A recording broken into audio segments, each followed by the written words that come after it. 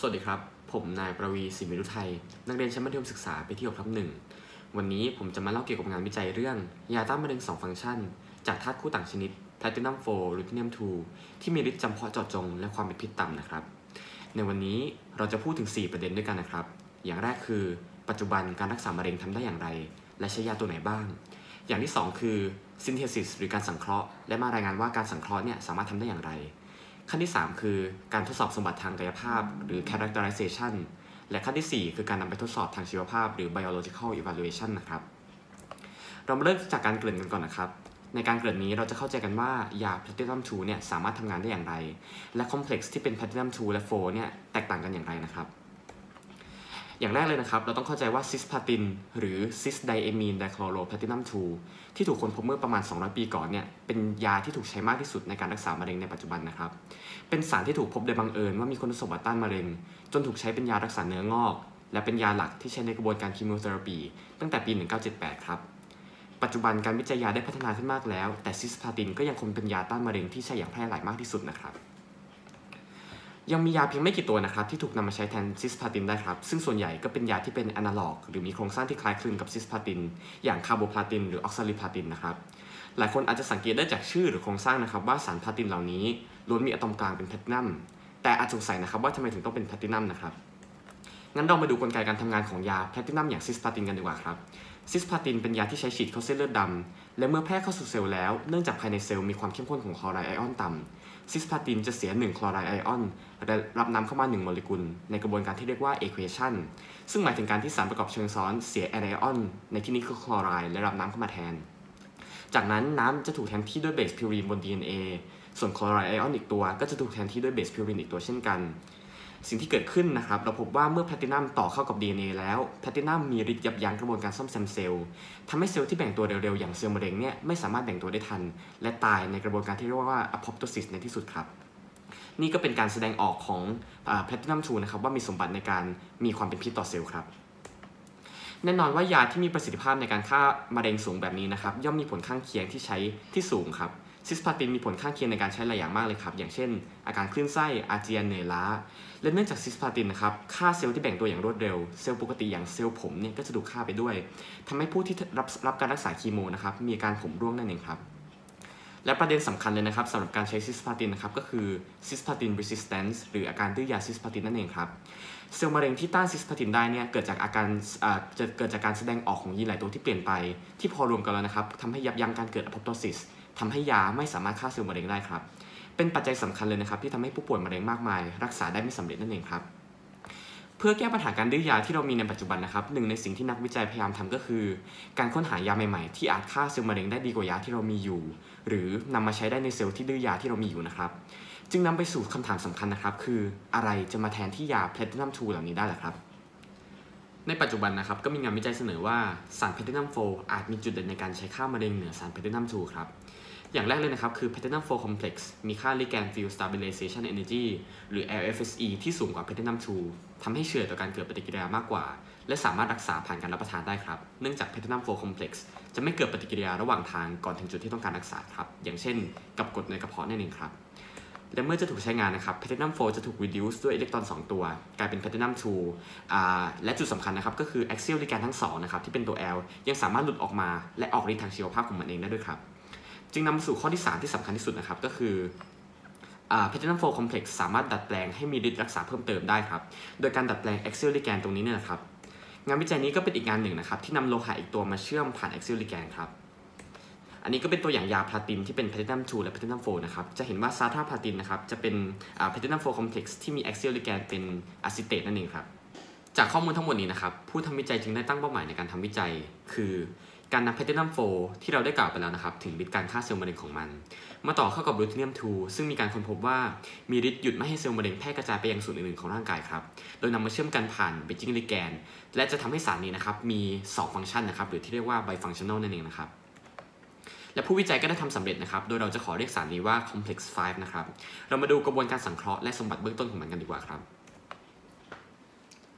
นี่คือหน้าตาของ complex 5 พระเอกของเราในวันนี้นะครับ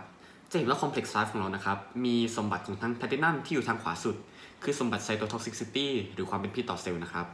ทางซ้ายสุดจะมีสมบัติของรูทิเนียม คือสมบัติ anti-metastatic properties หรือการหยุดการแพร่กระจายของเซลล์มะเร็งนั่นเองครับ ทั้งสองโลหะถูกนำมาเชื่อมกันด้วย imidazole ที่ทำหน้าที่เป็น bridging ligand จะเห็นว่าสารนี้ทั้งหมดนะครับ จะมีทั้งหมด 2 สมบัติจากทั้ง 2 โลหะที่นำมาเชื่อมกันเลยครับ สำหรับกระบวนการสังเคราะห์นะครับ ผู้ทำวิจัยได้นำ cisplatin มาเตรียมให้อยู่ในรูปของ oxoplatin ที่มีไฮดรอกไซด์เป็น axial ligand หลังจากนั้นจึงเติม benzoic anhydride ใน DMF ตั้งอุณหภูมิที่ 60 องศาเซลเซียส เป็นเวลา 16 ชั่วโมง และปั่นตกจนได้สารหมายเลขหนึ่งที่มี benzoate เข้ามาเป็น axial ligand ในฝั่งหนึ่งแทนไฮดรอกไซด์นะครับ จากนั้นจึงเติม succinic anhydride ใน DMF ตั้งอุณหภูมิที่ 60 องศาเซลเซียส ข้ามคืนให้ตกตะกอน แล้วล้างออกด้วย diethyl ether จนได้สารหมายเลข2นะครับ จะเห็นว่ามีหมู่ carboxylic acid นะครับ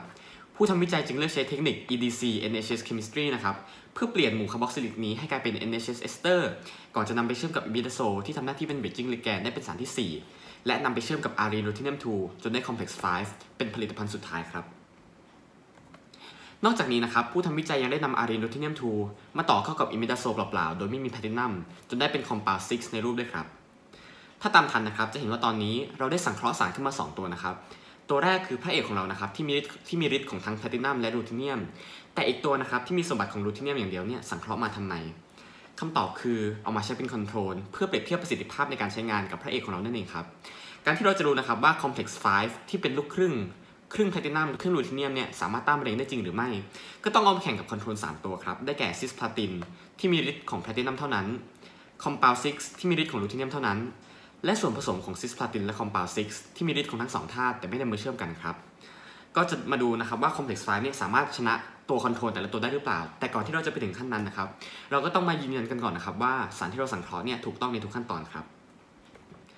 ผู้ทำวิจัยได้เลือกใช้เทคนิค NMR spectroscopy ทำโดยการวัดระดับพลังงานที่แตกต่างกันของนิวเคลียสที่อยู่ภายใต้อิทธิพลของสนามแม่เหล็กไฟฟ้า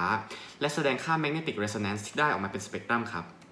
NMR ก็มีหลายแบบนะครับ ไม่ว่าจะเป็นของโปรตอนที่จะวัด resonance ของโปรตอนที่อยู่ในสาร หรือของคาร์บอน 13 ที่จะวัด resonance ของคาร์บอน 13 ที่มีประมาณ 1%ของคาร์บอนทั้งหมดนะครับแต่แต่ละแบบนะครับก็จะสามารถแสดงให้เห็นว่า molecular structure ของสารนั้นเป็นอย่างไรนะครับ อย่างอันนี้ก็จะเป็นผลของ compound หนึ่งนะครับที่เกิดจากการที่เราเอา benzoate มาเติมให้กับ cisplatin ของเรานะครับ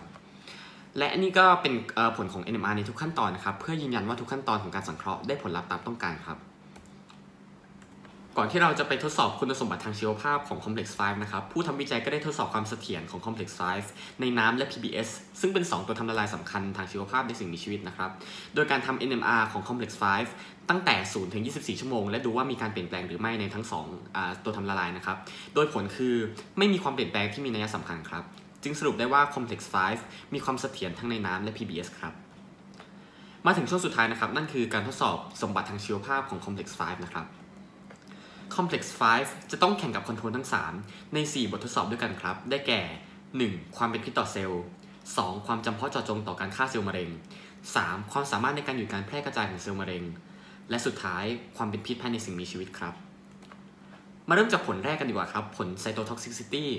เลขในตารางนี้นะครับ แสดงค่า IC50 หรือความเข้มข้นของสารที่ต้องใช้ เพื่อยับยั้งการทำงานของเซลล์นั้นได้ 50%โดยจะอยู่ในหน่วยของ micromolar นะครับ ในการทดสอบความเป็นพิษต่อเซลล์ สารต้านมะเร็งที่ดีนะครับควรมีความพิษต่อความเป็นพิษต่อเซลล์มะเร็งสูง หรือมีค่า IC50 ต่ำ และควรมีค่าความเป็นพิษต่อเซลล์ปกติต่ำ หรือมีค่า IC50 สูงนั่นเองครับ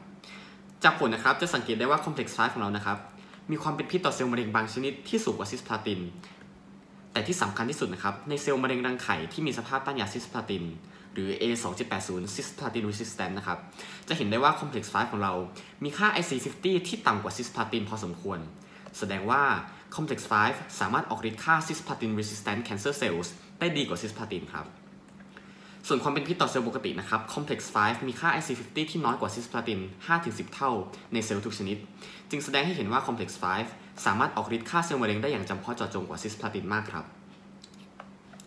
แต่สำหรับส่วนผสมของ cisplatin และ compound 6นะครับจะเห็นว่ามีประสิทธิภาพในการฆ่าเซลล์มะเร็งที่สูงก็จริง แต่เป็นพิษต่อเซลล์ปกติมาก จึงทำให้ control กลุ่มนี้ไม่เหมาะสมในการใช้เป็นยาต้านมะเร็งครับในด่านทดสอบที่2นะครับความจำเพาะเจาะจงต่อเซลล์มะเร็ง ผู้ทำวิจัยได้นำเซลล์ปกติ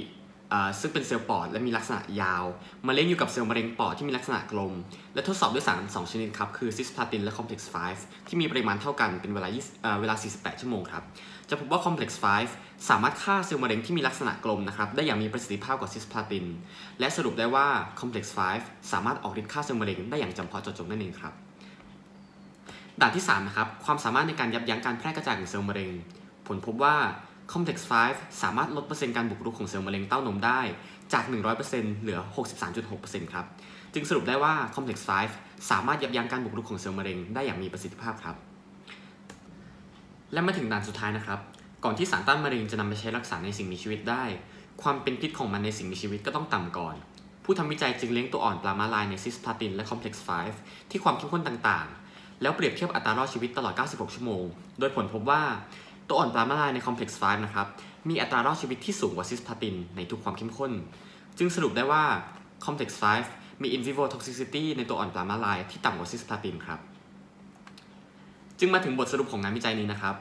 ผู้ทำวิจัยได้สังเคราะห์สาร Platinum 4หรือ Platinum 2 ตัวแรก ที่ผ่านทั้ง 4 บททดสอบก็คือสามารถเอาชนะสภาวะด้วยยาซิสพลาตินได้ มีประสิทธิภาพในการฆ่าเซลล์มะเร็งได้อย่างจำเพาะเจาะจงกว่าซิสพลาตินมาก มีสมบัติยับยั้งการแพร่กระจายของเซลล์มะเร็ง และสุดท้ายคือมีความเป็นพิษในสิ่งมีชีวิตที่ต่ำกว่าซิสพลาตินครับสารนี้มีความจำเพาะเจาะจงต่อเซลล์มะเร็งที่ดีมาก เมื่อเทียบกับสารต้านมะเร็งอื่นๆ ที่เป็น metal based complex เหมือนกัน และในอนาคตนะครับ ผู้ทำวิจัยจะศึกษากลไกการฆ่าเซลล์มะเร็งได้อย่างจำเพาะของสารนี้ ว่าสามารถเกิดขึ้นได้อย่างไร และหาแนวทางในการพัฒนายานี้ต่อไปครับ ผมขอจบการนำเสนอเพียงแค่นี้ และขอขอบคุณทุกท่านที่รับฟังการสัมมนาในวันนี้ครับ ขอบคุณครับ